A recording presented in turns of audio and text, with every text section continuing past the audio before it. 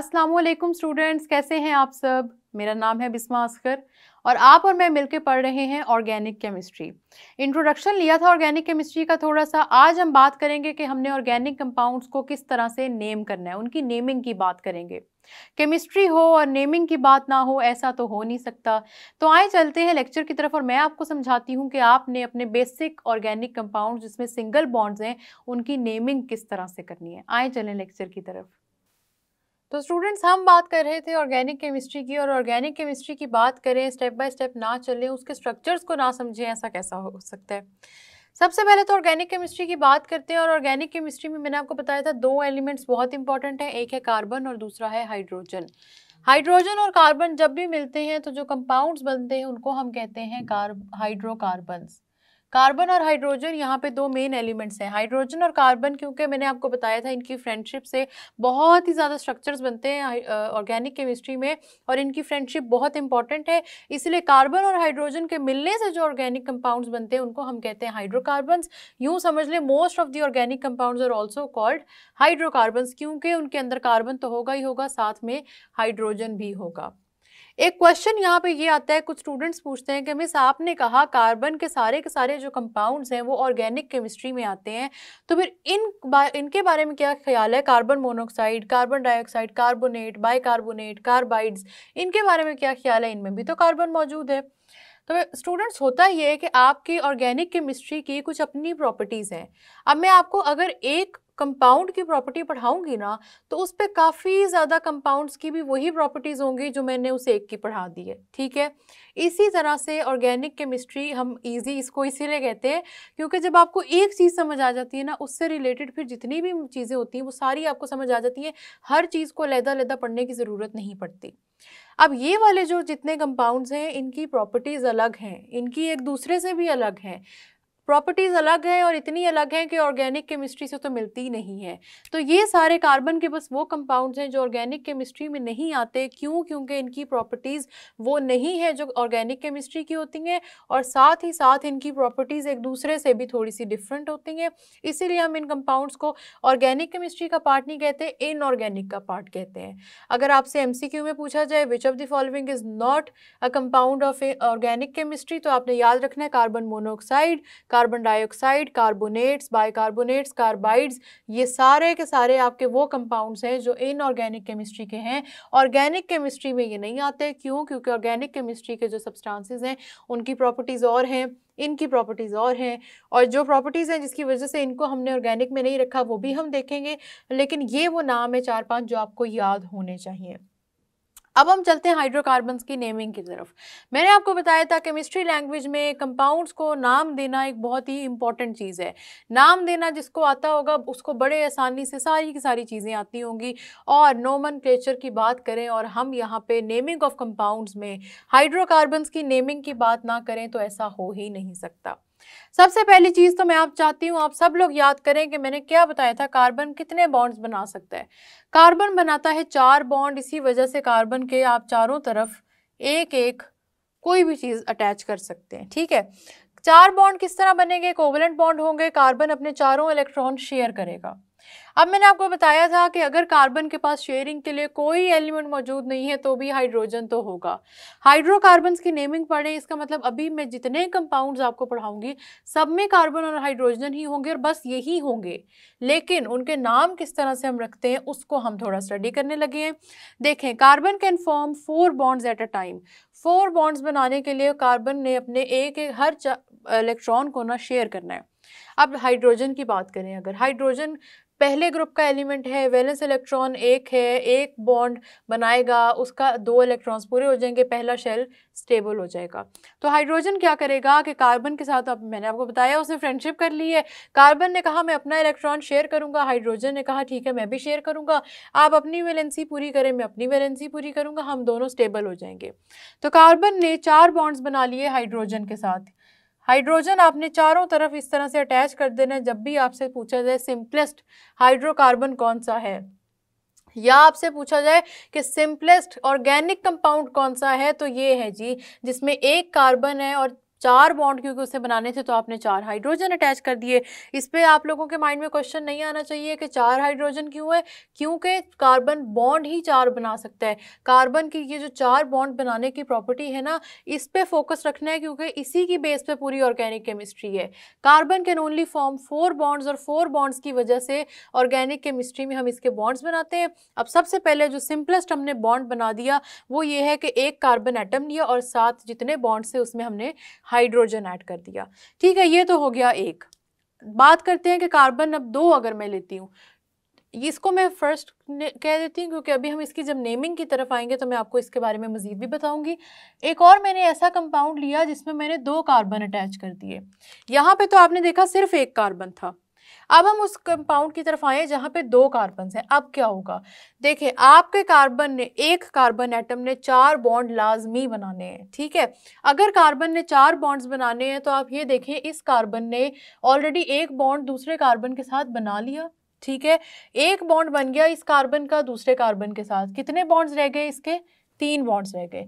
जो तीन रह गए हैं, वहाँ पे मैंने आपको बताया था, कोई भी और चीज़ ना जुड़ रही हो तो चुपचाप आप लोगों ने क्या करना है? हाइड्रोजन अटैच कर देना है। आप लोगों ने क्या करना है? यहाँ पे हाइड्रोजन अटैच कर देना है। इधर भी हाइड्रोजन, इधर भी हाइड्रोजन और इधर भी हाइड्रोजन। जहाँ पे मैंने कहा था कोई और चीज़ ना जोड़ी हो कार्बन के साथ चुपचाप आप लोगों ने हाइड्रोजन अटैच कर देना है।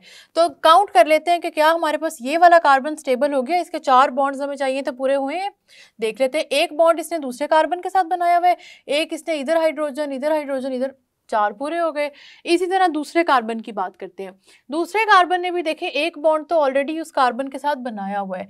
कितने बॉन्ड्स चाहिए? चार चाहिए। कितने बने हुए हैं? ऑलरेडी एक बना हुआ है। तो जो रह गए हैं, उनमें आप लोगों ने हाइड्रोजन फिल कर देने हैं। हाइड्रोजन, ये देख लें कितना इंपॉर्टेंट है। जहाँ कार्बन के साथ कोई चीज़ अटैच नहीं होती, वहाँ हाइड्रोजन आके अटैच हो जाता है। तो ये बात समझ में आई कि आप लोगों ने कार्बन के बॉन्ड्स पे बस फोकस रखना है। उसके चार बॉन्ड किसी तरह पूरे करने हैं। अगर कार्बन किसी और चीज़ के साथ अटैच है, उसका एक बॉन्ड हो गया, बाकी के जो तीन बचते हैं, वो हाइड्रोजन से पूरे कर दो। फिर से पढ़ लेते हैं एक और कंपाउंड को। अब मैं बात करती हूँ कि मैं तीन कार्बन सपोज़ करती हूँ। यहाँ पे एक कार्बन था, यहाँ दो हैं, अब मैं तीन कार्बन लूँगी। वन टू एंड थ्री अब इनकी बॉन्डिंग की बात करते हैं। हर कार्बन को सेपरेट लेके चलना है क्योंकि हर कार्बन ने चार बॉन्ड्स बनाने हैं। इस कार्बन को देखें, इसने ऑलरेडी एक बॉन्ड अगले कार्बन के साथ बनाया हुआ है। एक बॉन्ड हो गया, कितने बॉन्ड्स रह गए? तीन रह गए इस कार्बन के। तो यहाँ पे भी ये हाइड्रोजन से जुड़ जाएगा, इधर भी और इधर भी। अब देखें, ये पहले कार्बन के बॉन्ड्स काउंट करें, कितने चार हो गए हैं। एक, दो, तीन, चार। ये वाला कार्बन स्टेबल हो गया। अगले कार्बन पे चलते हैं। अब इस कार्बन को गौर से देखना है आप सबने। इस कार्बन ने एक बॉन्ड पिछले कार्बन के साथ बनाया हुआ है, एक अगले कार्बन के साथ। तो दो बॉन्ड्स ऑलरेडी हो गए ना? दो बॉन्ड्स हो गए, इस वजह से इस कार्बन के साथ अब हाइड्रोजन तीन नहीं लगेंगे, बल्कि सिर्फ़ दो और लगेंगे। क्यों? क्योंकि हमने चार पूरे करने हैं। इस कार्बन ने दो ऑलरेडी बनाए हुए थे, दो रह गए थे तो दो पूरे करने के लिए आ जाएगा उसका बेस्ट फ्रेंड हाइड्रोजन ठीक है? आखिरी कार्बन को देख लें, उसने एक बॉन्ड सिर्फ़ बनाया हुआ है।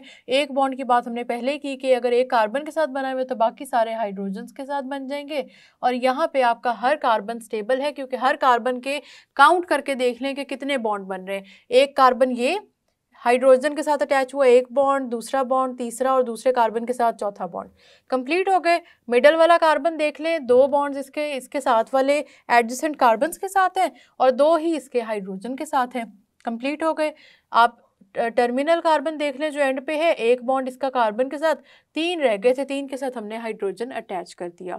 अब समझ आ रही है हाइड्रोजन किस तरह से अटैच करना है? अब हम कार्बन का नंबर बढ़ा रहे हैं, हम कार्बन का नंबर फिर से बढ़ा देते हैं, और हम कार्बन का नंबर बढ़ा के अब कर देते हैं चार। Four carbon are present over here अब देखें, इसके बॉन्ड किस तरह बनेंगे? सबसे पहले कार्बन को लेके चलेंगे। कितने बॉन्ड बने हुए? एक बना हुए अगले कार्बन के साथ। यहाँ पे अब तो स्टूडेंट्स को याद हो गया हाइड्रोजन अटैच कर दें तीन। ठीक है? मिडल वाला कार्बन देखें। दो बॉन्ड ऑलरेडी बने हुए हैं इधर वाले कार्बन और इधर वाले कार्बन के साथ। दो हाइड्रोजन्स बस और चाहिए, दो हाइड्रोजन्स अटैच हो गए। थर्ड नंबर पे देखें। एक बॉन्ड इधर है, एक इधर है, दो कंप्लीट हैं, दो रह गए। इधर भी हाइड्रोजन आ जाएगा, इधर भी हाइड्रोजन आ जाएगा। और लास्ट में देखें, सिर्फ़ एक बॉन्ड है तो हमारे पास यहाँ हाइड्रोजन यहाँ और यहाँ तीन हाइड्रोजन आके इस four carbon atom four carbon compound को भी कंप्लीट कर देंगे। हम बात करेंगे पाँच कार्बन एटम्स तक की, चार हमने बना लिया पाँचवें की भी बात करते हैं। आप मेरे साथ कंप्लीट करें, मैं इधर कंप्लीट करती हूँ तो देखें कि क्या आपको समझ आती है। यहाँ पे हमारे पास बन गए पाँच कार्बन एटम। अब हमने इनको स्टेबल करना है। स्टेबल करने के लिए कार्बन का, दूसरे कार्बन के साथ एक बॉन्ड ऑलरेडी बना हुआ है। तीन और बनाने क्योंकि चार टोटल हमें चाहिए तो चार करने के लिए ये लें जी, हमने चार पूरे कर लिए। दूसरे कार्बन को देख लें, दो ऑलरेडी उसने बनाए हुए हैं, दो और रह गए हैं, दो के लिए हम हाइड्रोजन अटैच कर देंगे। जहाँ पे भी लगे कार्बन अकेला हो गया और उसके बॉन्ड पूरे नहीं हुए, वहाँ पे आपने चुप करके बस हाइड्रोजन अटैच कर देना है। इधर भी हम हाइड्रोजन अटैच कर देंगे, इधर भी। यहाँ पे भी दो हाइड्रोजन आ जाएँगे, क्यों? क्योंकि ऑलरेडी इन कार्बन ने साथ वाले कार्बन के साथ दो बॉन्ड्स बनाए हुए हैं। आखिरी कार्बन ने सिर्फ़ एक बॉन्ड बनाया हुआ है, इससे यहाँ पे तीन हाइड्रोजन अटैच हो जाएँगे। यहाँ तक बात समझ में आई आप लोगों को कि किस तरह से कार्बन के बॉन्डिंग पूरी की आपने, चार बॉन्ड उसने बनाने, ये चीज़ कितनी इंपॉर्टेंट है देखिए आप लोगों ने। अब मैं क्या करूँगी कि इन फॉर्मूलाज में सबसे पहले आपको बताऊँगी नेम्स कैसे कर, रखने हैं इनके। देखें अगर तो आपके पास सिर्फ़ एक कार्बन होगा, ये नेमिंग वाली जो चीज़ है ना, ये गौर से सुननी है, पेपर में भी पूछी जाती है और उसके अलावा भी हाइड्रोकार्बन्स के बारे में, या ऑर्गेनिक केमिस्ट्री के बारे में इतनी इन्फॉर्मेशन होनी चाहिए, हर स्टूडेंट को होनी चाहिए। नेमिंग की बात करेंगे, एक कार्बन, जब भी एक कार्बन होगा तो नेम के स्टार्ट में आएगा मैथ ठीक है? एक कार्बन होगा तो नेम के स्टार्ट में आ जाएगा मैथ मैथ के साथ आपने एन लगा देना है, ए, एन, ई आपकी एंडिंग है। ए, एन, ई तब लगाते हैं जब भी आपके पास जो कार्बन का कंपाउंड है, जो कार्बन का बॉन्ड है, वो सिंगल बॉन्ड होता है। गौर से सुननी है ये बात। मैथ क्यों लगाया? क्योंकि एक कार्बन प्रेजेंट है। एन क्यों लगा रहे हैं? क्योंकि हमारे पास कार्बन ने जो बॉन्ड बनाए हैं, वो सिंगल बॉन्ड है। कुछ याद आया कि कोवलेंट बॉन्ड्स में हमारे पास सिंगल बॉन्ड भी होते हैं, डबल बॉन्ड भी होते हैं, ट्रिपल बॉन्ड भी होते हैं। अभी तक हम जिन बॉन्ड्स में डील कर रहे हैं, वो बॉन्ड सिर्फ़ और सिर्फ़ सिंगल बॉन्ड्स हैं। सिंगल बॉन्ड है, एक एक इलेक्ट्रॉन शेयर हो रहा है, सिंगल बॉन्ड बन रहा है। इसीलिए आपने एंडिंग करनी है एन के साथ। सिंगल बॉन्ड इसमें भी है, सिंगल बॉन्ड टू कार्बन में भी है, थ्री कार्बन में भी है, फोर में भी है, फाइव में भी है। इसलिए इन सब के नेमिंग में आपने एंडिंग करनी है एन से, ए एन ई। यहाँ पे भी आ जाएगा आपका ए एन ई इधर भी ए एन ई और यहाँ पे भी ए एन ई समझ में आया? इन सारे के सारे स्ट्रक्चर्स का एंड हमने ए एन ई में करना है। क्यों? क्योंकि हमारे पास इन सारे के सारे कार्बन्स ने सिंगल बॉन्ड बनाए हुए हैं। अब हमने बात की थी कि कार्बन की नेमिंग की हाइड्रोकार्बन्स की नेमिंग की। देखें हाइड्रोकार्बन की नेमिंग दो चीज़ों पे डिपेंड कर रही है। एक तो इस चीज़ पे कि बॉन्ड सिंगल हैं डबल हैं या ट्रिपल हैं, ठीक है? अभी आपने देखा सिंगल बॉन्ड है डबल ट्रिपल्स उनके डरना नहीं है, उसके बारे में भी हम बात करेंगे, लेकिन अभी बाद में, अभी इसको देखें।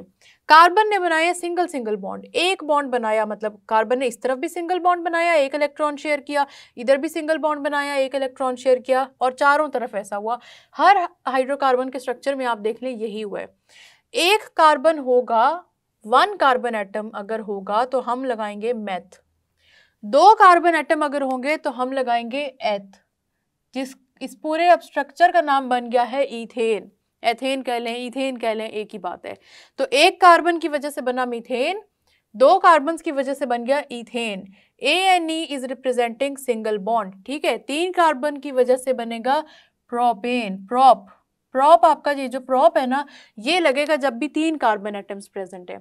तीन कार्बन एटम प्रेजेंट है तो आपका लग गया प्रॉप चार कार्बन एटम्स प्रेजेंट होंगे तो आपने ब्यूट लगा देना है। बी यू टी ब्यूटेन आपका पूरा कंपाउंड का नाम है। और अगर पाँच कार्बन एटम्स मौजूद हैं तो आपने लगाना है P E N T pent pentane आपके इस पूरे के पूरे कार्बन हाइड्रोकार्बन का नाम हो गया। तो ये बात समझ में आई कि ए एन ई एंडिंग हम क्यों यूज़ कर रहे हैं?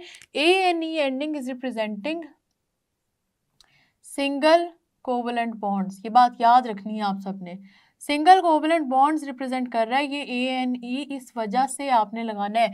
तो कहीं पे भी आप किसी भी हाइड्रोकार्बन का नाम सुने और उसके एंड पे ए ना रहा हो ना, अगर ए एन ई तो समझ जाइएगा कि उसके अंदर सिंगल बॉन्ड्स मौजूद हैं। उसके अंदर एक सिंगल बॉन्ड है covalent bond double covalent bond या ट्रिपल कोवलेंट बॉन्ड मौजूद नहीं है।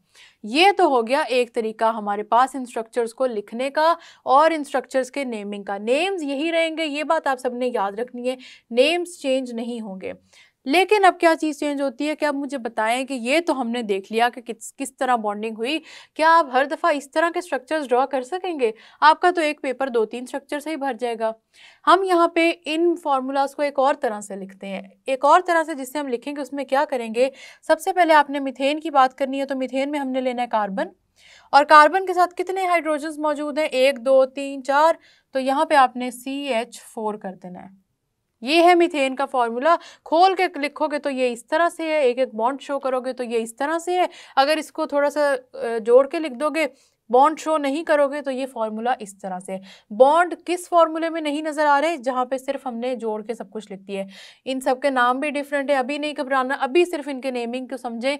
इस तरह इन चीज़ों को समझ लें, बाकी चीज़ें हम बाद में डिस्कस करेंगे। मिथेन का नाम हमने रख दिया C H C H four का नाम हमने रख दिया मिथेन। क्यों? क्योंकि इसके अंदर एक कार्बन है और एक कार्बन की वजह से हम इसको मिथेन कहते हैं। एक कार्बन चार कोवलेंट बॉन्ड बना रहा है, चारों के चारों सिंगल हैं, इस वजह से एन उसकी एंडिंग है।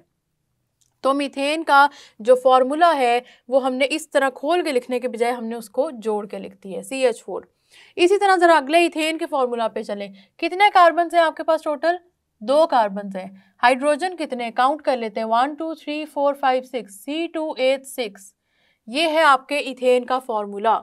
समझ आ रही हैं यहाँ तक बातें? बहुत इजी चीज़ें। ऑर्गेनिक केमिस्ट्री मुश्किल नहीं है। इथेन का फॉर्मूला यहाँ तक हमारा हो गया है कंप्लीट। इथेन हो गया, फिर आप बात करें प्रोपेन की। प्रोपेन की जब आप बात करेंगे कितने कार्बन है? एक, दो, तीन। C, three. हाइड्रोजन्स कितने काउंट कर लें? एक, दो, तीन, चार, पाँच, छः, सात, आठ। H, eight. ठीक है? हाइड्रोजन क्या था? जितने जगहों पे बॉन्ड रह गए थे, वहाँ हमने हाइड्रोजन ऐड कर दिए। बस उनको फिर काउंट करके हाइड्रोजन लिख दिए। तो प्रोपेन का फॉर्मूला जब इस तरह लिखते हैं, सही तरह, जिस तरह हम ऑर्गेनिक केमिस्ट्री के बजाय केमिस्ट्री में जिस तरह फार्मूले लिखते हैं, वो इस तरह देखें। कार्बन मोनोक्साइड कार्बन डाइऑक्साइड के फार्मूले किस तरह लिखे हैं? तो आपके ऑर्गेनिक केमिस्ट्री के हमेशा फार्मूले इतने खोल के लिखने हैं? ऐसे नहीं लिखने एन की बात कर रहे हैं, जिसमें सिंगल बॉन्ड है सिंगल कोवलेंट बॉन्ड है। सी हो गया सी टू था तो हाइड्रोजन काउंट कर लिए सी थ्री था तो हाइड्रोजन काउंट कर लिए सी थ्री अब सी फोर है तो हाइड्रोजन काउंट कर लेते हैं। एक, दो, तीन, चार, पाँच छः सात, आठ, नौ, दस सी फोर एच टेन आपका ये वाला फार्मूला बन गया। पेंटेन की बात करें तो आपके पास पाँच कार्बन एटम्स यहाँ पे मौजूद हैं। हाइड्रोजन्स काउंट कर लेते हैं। One two three four five six seven eight nine ten eleven twelve C five H twelve बन गया आपका ये वाला फॉर्मूला अब आपको समझ आई कि हमने ये फॉर्मूला किस तरह से बनाया है। अगर आपको स्टूडेंट्स पेपर में याद ना हो रहा हो, और अभी, वैसे भी अभी अगर आपको ये चीज़ याद ना हो रही हो कि सी एच फोर किस तरह लिखना है C three C two H six C three H eight किस तरह लिखना है तो क्या करें? सिंपली खोल के सारे स्ट्रक्चर ड्रॉ कर दें, खोल के सारे के सारे बॉन्ड्स ड्रॉ करें। ड्रॉ करने के बाद जितनी जगहों पे बॉन्ड बनने हैं ना कार्बन के, वहाँ वहाँ हाइड्रोजन लगा दें और उन हाइड्रोजन को काउंट कर लें कितने बनते हैं और उनको ऐड कर दें अपने फाइनल फार्मूला में। ये थी आसानी वाली चीज़ें। नेमिंग में हमने कार्बन के एटम्स काउंट करने हैं। कार्बन के एटम काउंट किए तो एक कार्बन से मैथ आया दो से ए था या तीन से प्रॉप चार से ब्यूट और पाँच से पेंट कार्बन एटम्स काउंट करें और देखें सिंगल बॉन्ड्स हैं यानी सिंगल बॉन्ड है तो आपकी एंडिंग होनी चाहिए हमेशा एन इस तरह से हमने पाँच कार्बन एटम वाले कंपाउंड्स को नेमिंग का तरीका देख लिया और उम्मीद है कि आपको समझ आ गई होगी। तो देखा आसान था। मैंने पाँच कार्बन एटम्स तक आपको सिखाया है। आपने आगे भी करने हैं। टेन कार्बन एटम्स तक हमारा गोल है। इस वजह से आपने इन सबको लाजमी देखना है। इन सबको दोबारा भी लिखें दो तीन दफ़ा लिखें। बहुत ईजी है ऑर्गेनिक कंपाउंड वैसे भी मुश्किल नहीं होते तो आपको आराम से आ जाएँगे। अगर आपको मुश्किल लग रहे हैं तो वो इसलिए लग रहे हैं क्योंकि आपका स्टार्ट है। स्टार्ट में हर चीज़ हमें मुश्किल लगती है, लेकिन जैसे ही हम प्रैक्टिस करते हैं, हमारे लिए आसान हो जाती है। तो चलें, आप इसकी प्रैक्टिस करें। हम मिलेंगे नेक्स्ट लेक्चर में। तब तक के लिए अल्लाह हाफिज़। Thank you.